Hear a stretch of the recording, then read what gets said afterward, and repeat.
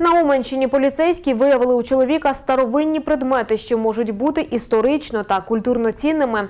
Давній кинджал, браслет та інші речі місцевий житель зберігав у своєму автомобілі. Про це повідомляють у прес-службі обласного управління Нацполіції. Походження знайдених речей чоловік пояснити відмовився. Їх вилучили та спрямували на експертизу. Відкрито кримінальне провадження за статтею про незаконне привласнення особою знайденого або чужого майна.